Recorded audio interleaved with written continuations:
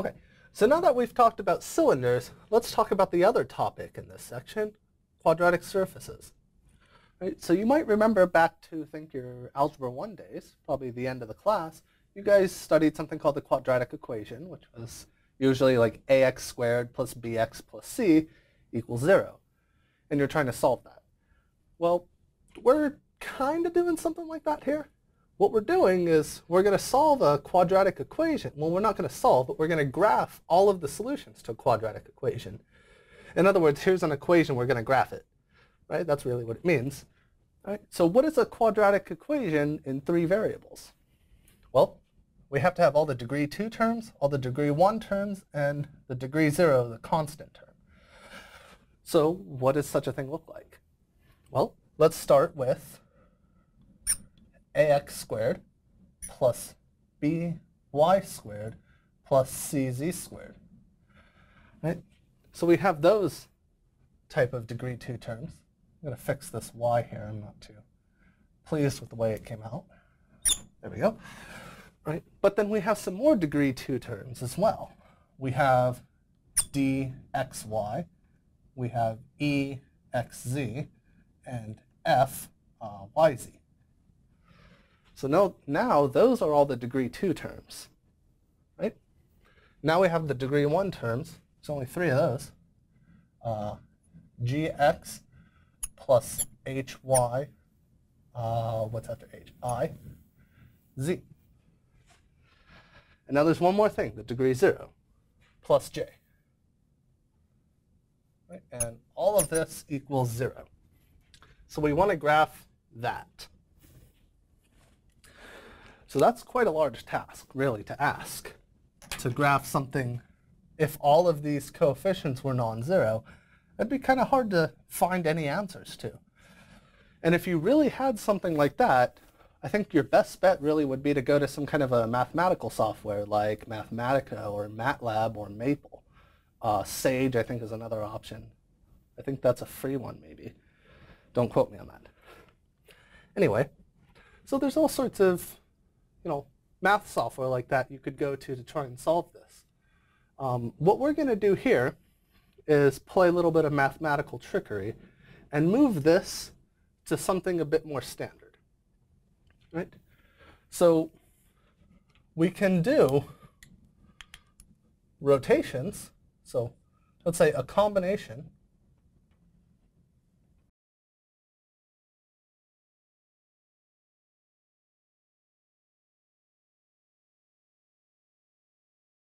ax squared plus by squared plus cz squared plus j equals 0. So that's one possibility. Right? If we're given a particular equation of this type up here, we might be able to turn it into that. If we can't turn it into that, the other option is this. we could also turn it into ax squared plus by squared plus iz equals 0. That's the other possibility. So through rotations and translations, this up here can be turned into one of these or one of these. Okay? So let me say a little bit about how that happens, or I should say what kind of tricks you would have to use to do that. Um, maybe you'll go on to take a class called linear algebra. And this is really a linear algebra technique. You use that to kind of switch this. You can really easily talk about rotations in linear algebra and translations there as well. And you can see how this can get turned into one of these. Um, okay, so now let's do an example of graphing a quadratic surface by hand. And one of the easiest ways to do that is using something called traces. So let's talk a little bit about what traces are and use them to graph this. Right? So what a trace is, right? So what this is is we set a variable uh, to a constant So for example, this is something like x equals k, y equals k, or z equals k, right? And then we get a curve, right? Uh, so we set a variable equal to a constant, then get a curve, right? And that curve is called a trace, right? And that curve well, it lives in one of these planes depending on which one you picked. So let's say, well, let's do for this example, let's take the trace x equals 0. Right? So this trace, the curve we're going to get is going to lie in the yz plane because that's what the plane x equals 0 is. Right? So if we plug x equals 0 in up here, what do we get? We get y squared over 16 plus z squared over 4 equals 1. Sorry, not 0. Equals 1. All right. Well, you might know that as an ellipse.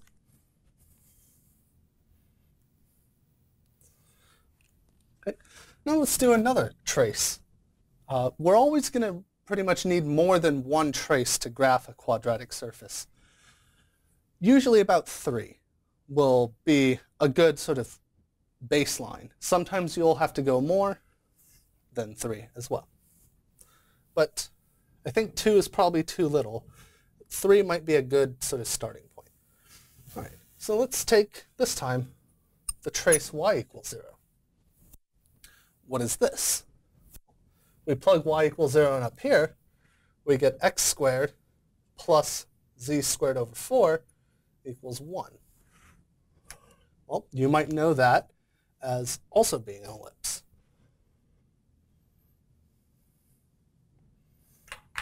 Right? And where does that ellipse lie? In fact, let's start writing this up here. So x equals 0, this is the yz plane. y equals 0, what is that? It's the xz plane. Right? And then let's do sort of the logical next one, which is z equals 0. What plane is that? Of course, that's the y, uh, xy plane. I think I almost said yx or something. Anyway, and what is the equation here? Well, it's x squared plus y squared over 16 equals 1. And of course, that's also an ellipse. All right, so let's make that look more like a 16 and less like a 10. All right, so we have these three traces here. So we have the intersection, is another way to say this, of this surface with these three planes. So that's another way you can think of a trace, is it's the intersection of the surface with one of these planes. Okay, so how do we use this information? Well, really we just, we know where these three curves have to lie, so let's draw the three space, x, y, z axes, and graph it. So I might get a bit off, off screen here, but it's the way it goes. Okay, so let's start by drawing this uh, three space. All right. So here's x, y, and z. Right? Okay. So now let's start graphing these traces that we have. Well, let's start with this one, the x equals 0 trace, because that's kind of the easy one to fit on here. Right? That's in the yz plane, and that's the plane of the board here. So let me make the, ah, that's fine. So let's sketch that in here. Well, first, what is this ellipse?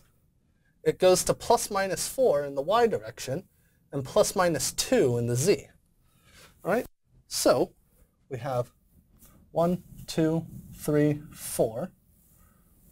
1, 2, 3, 4 here. Okay? Oops. For z, we have 1, 2, and 1, And now let's sketch in this ellipse. So it goes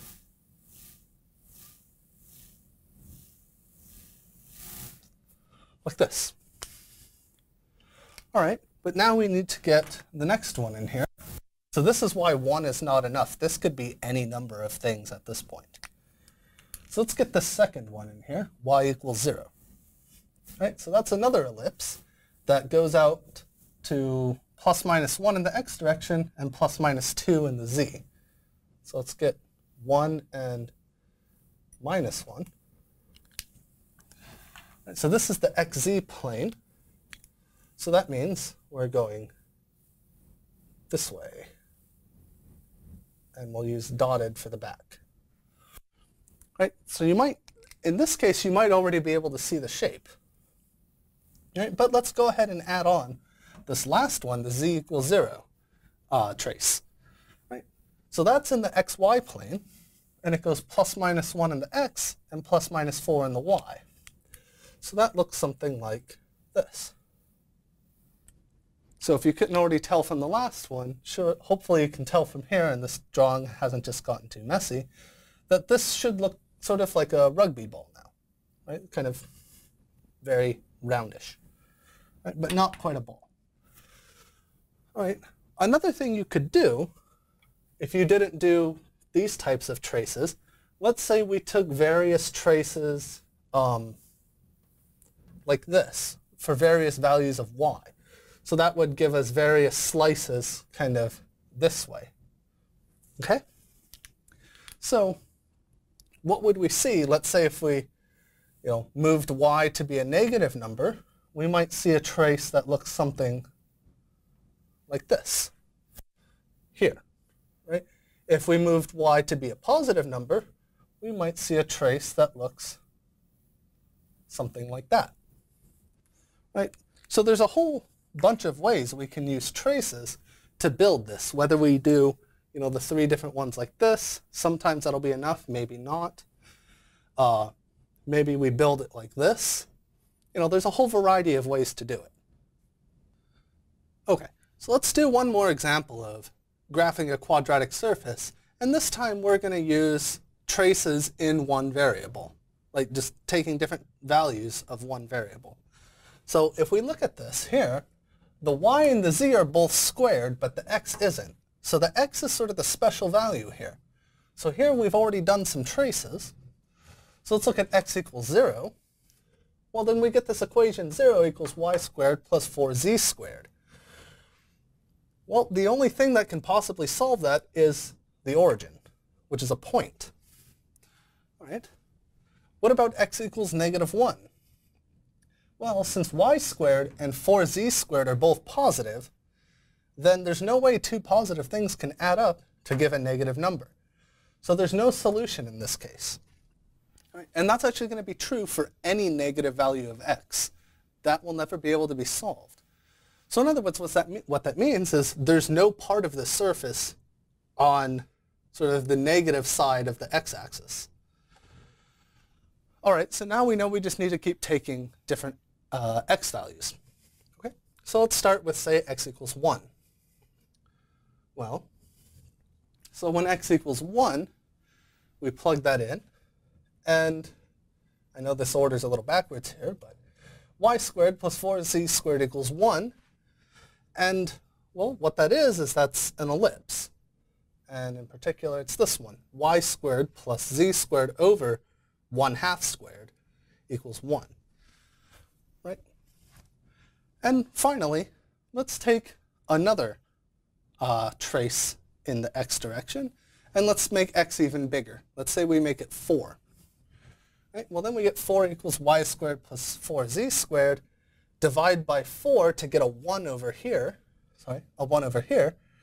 And we get y squared over 4 plus z squared equals 1. So what we see is that we start with a point when x is 0.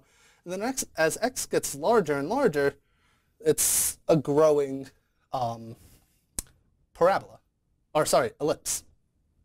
Sorry. Right, so the ellipse just keeps getting bigger and bigger. So it sort of starts out something like this. right? And then we get, when x equals 1, we get something maybe like this.